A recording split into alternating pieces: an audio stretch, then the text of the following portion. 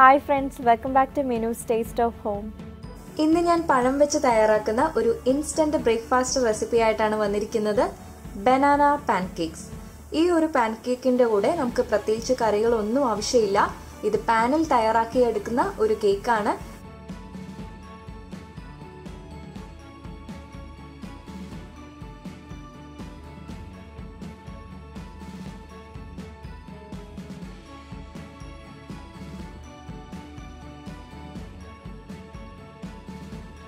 പാൻകേക്കിന്റെ batter തയ്യാറാക്കാനായിട്ട് നമുക്കൊരു electric ബീറ്ററോ അല്ലെങ്കിൽ ഒരു വിസ്കോ ഒന്നും തന്നെ ആവശ്യമില്ല. ഇതുപോലൊരു ഫോർക്ക് ഉണ്ടെന്നുണ്ടെങ്കിൽ നമുക്ക് വളരെ എളുപ്പത്തിൽ ഇതിന്റെ ഒരു ബാറ്റർ തയ്യാറാക്കി എടുക്കാം. ബനാന പാൻകേക്സിന് വേണ്ട ഇൻഗ്രീഡിയൻസ് നോക്കാം. ഞാനിവിടെ മഞ്ഞ റോബസ്റ്റയാണ് എടുത്തിട്ടുള്ളത്. അപ്പോൾ ഇതുപോലെ ലൈറ്റ് ബ്രൗൺ സ്പോട്ട് വീണ പഴം എടുക്കുകയാണെന്നുണ്ടെങ്കിൽ അതിൽ കൂടുതൽ മധുരം കാണും. മറ്റ് ഇൻഗ്രീഡിയൻസ് നോക്കാം. മൈദ ബേക്കിംഗ് പൗഡർ കറുവാപ്പട്ട പൊടിച്ചത്. വനില എക്സ്ട്രാക്ട് പശുവിൻ പാൽ. പഞ്ചസാര. മുട്ട. മെൽറ്റ് ചെയ്തിട്ടുള്ള ബട്ടർ ഉപ്പ്.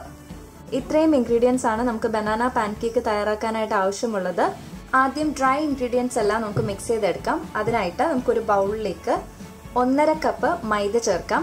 ഈ മൈദയ്ക്ക് പകരം നമുക്ക് വേണമെങ്കിൽ ഗോതമ്പ് പൊടി യൂസ് ചെയ്യാം. ഈ ഗോതമ്പ് പൊടി യൂസ് ചെയ്തിട്ടുള്ള ഒരു ബനാന കപ്പ് കേക്കിന്റെ റെസിപ്പി ഞാൻ നേരത്തെ അപ്ലോഡ് ചെയ്തിട്ടുണ്ട്. അപ്പോൾ ആ ഒരു വീഡിയോയുടെ ലിങ്കും ഞാൻ ഇതിന്റെ ഡിസ്ക്രിപ്ഷൻ ബോക്സിൽ കൊടുക്കുന്നുണ്ട്. ഇനി നമുക്കിതിലേക്ക് മുക്കാൽ ടേബിൾ സ്പൂണോളം ബേക്കിംഗ് പൗഡർ ചേർത്ത് കൊടുക്കാം.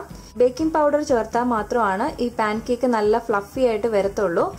ഇതിന് പകരമായിട്ട് നിങ്ങൾക്ക് സോഡാപ്പൊടി വേണമെങ്കിൽ യൂസ് ചെയ്യാം. സോഡാപ്പൊടി ചേർക്കുന്നുണ്ടെങ്കിൽ പാലിന് പകരം ബട്ടർ മിൽക്ക് ചേർക്കുക.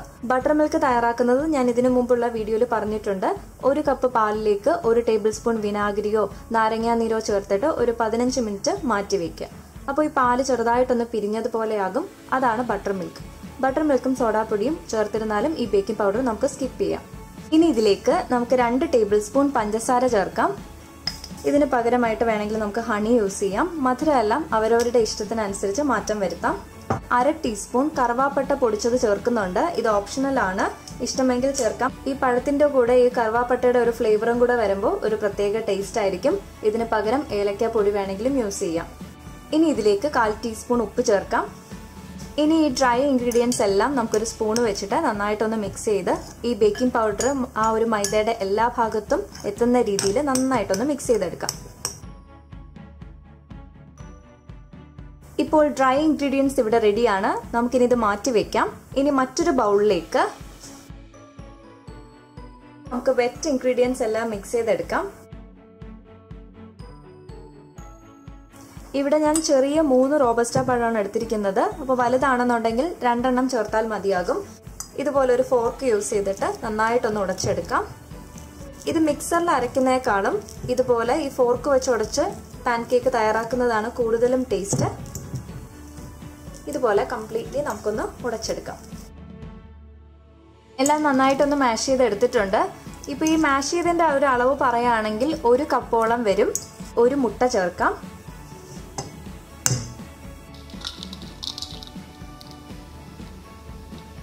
മുട്ടയും നന്നായിട്ടൊന്ന് ബീറ്റ് ചെയ്തെടുക്കുക ഇതുപോലെ നന്നായിട്ട് ഫ്ലഫി ആവുന്നത് വരെ ഒന്ന് ബീറ്റ് ചെയ്തെടുക്കുക ഇപ്പോൾ എല്ലാം ബീറ്റ് ചെയ്തെടുത്തിട്ടുണ്ട്. ഇനി നമുക്ക് ഇതിലേക്ക് ആ ഒരു മുട്ടയുടെ സ്മെല്ല് മാറുന്നതിനായിട്ട് കുറച്ച് വെനില എക്സ്ട്രാക്റ്റോ അല്ലെങ്കിൽ വെനില എസൻസോ ചേർക്കാം. ഏലക്കയുടെ ആ ഒരു പൊടി ചേർത്തിരുന്നാലും മുട്ടയുടെ സ്മെല്ല് മാറി കിട്ടും ഇനി ഇതെല്ലാം നന്നായിട്ടൊന്ന് മിക്സ് ചെയ്തെടുക്കാം. ഇനി നമുക്കിതിലേക്ക് നാല് ടേബിൾ സ്പൂൺ മെൽറ്റ് ചെയ്തിട്ടുള്ള ബട്ടർ ചേർക്കാം. ഇതിന് പകരമായിട്ട് ഓയിൽ വേണമെങ്കിലും യൂസ് ചെയ്യാം. പശുവിൻ പാൽ ചേർക്കാം. ഒന്നുകൂടെ ഒന്ന് മിക്സ് ചെയ്തെടുക്കാം. അരക്കപ്പ് പാലാണ് ചേർത്തിരിക്കുന്നത്. എല്ലാം ഒന്ന് മിക്സ് ചെയ്തെടുത്തിട്ടുണ്ട്. ഇപ്പോൾ നമ്മളുടെ വെറ്റ് ഇൻഗ്രീഡിയൻസും ഇവിടെ റെഡിയാണ് അതുപോലെ ഡ്രൈ ഇൻഗ്രീഡിയൻസും റെഡിയാണ്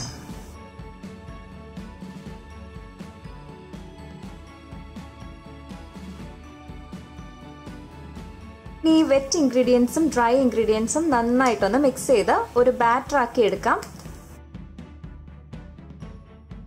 ഇത് ഓവർ മിക്സ് ചെയ്യാൻ പാടില്ല. ജസ്റ്റ് എല്ലാം ഒന്ന് യോജിപ്പിച്ച് ആ കട്ട കെട്ടിയിട്ടുണ്ടെങ്കിൽ അതെല്ലാം ഒന്ന് മാറ്റി ഒരു സ്മൂത്ത് ബാറ്ററാക്കി എടുക്കാം. മിക്സ് ചെയ്തെടുത്തിട്ടുണ്ട് ഇനി നമുക്ക് ആ ഒരു പാൻ കേക്കിന്റെ കൺസിസ്റ്റൻസി ആക്കുന്നതിനായിട്ട് കുറച്ച് പാലും കൂടെ ചേർക്കാം. നന്നായിട്ടൊന്ന് യോജിപ്പിച്ചെടുക്കാം.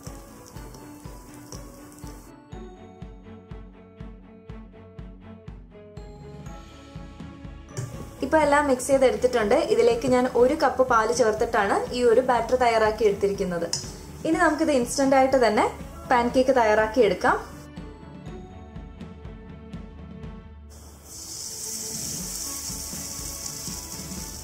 ഞാനിപ്പോൾ ചൂടായിട്ടുണ്ട്. നമുക്കിനി ഇതിലേക്ക് ഓരോ ലാഡിൽ ബാറ്ററായിട്ട് ഒഴിച്ചു കൊടുക്കാം.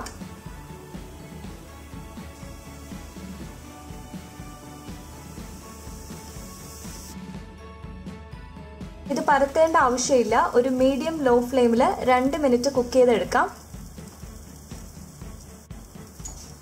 ഇനി ഇതിന്റെ മുകളിലേക്ക് കുറച്ച് ബട്ടർ ഒന്ന് സ്പ്രെഡ് ചെയ്ത് കൊടുക്കാം.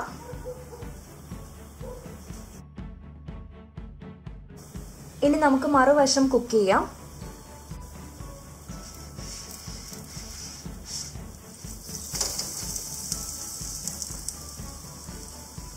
ഒരു പ്ലേറ്റിലേക്ക് പകർത്താം.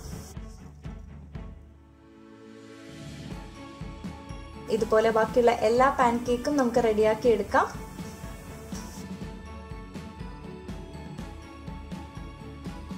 പാൻ കേക്കിന്റെ എഡ്ജ് എല്ലാം നന്നായിട്ട് ഡ്രൈ ആയിട്ട് വരുമ്പോൾ നമുക്ക് ഇനി മറുവശം കുക്ക് ചെയ്തെടുക്കാം.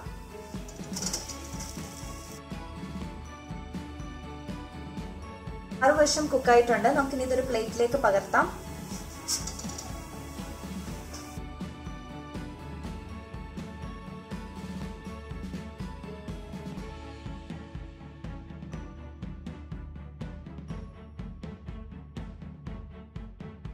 ബനാന പാൻ കേക്ക് ഇവിടെ റെഡിയായി. ഇത് ചൂടോടുകൂടി സെർവ് ചെയ്യാം. ഞാനിവിടെ സ്ലൈസ് ചെയ്തിട്ടുള്ള ബനാനയും അതുപോലെ ഒരു പീസ് ബട്ടറുമാണ് വെച്ചിരിക്കുന്നത്.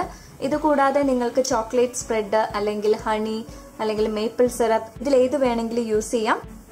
സ്ലൈസ് ചെയ്തിട്ടുള്ള ബനാനയും അതുപോലെ മേപ്പിൾ സിറപ്പുമാണ് ഞാനിവിടെ യൂസ് ചെയ്യുന്നത്.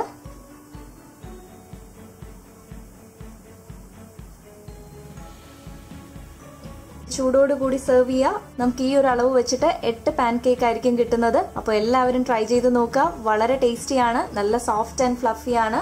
ഇതിന്റെ ഉൾവശം ഒന്ന് കാണാം.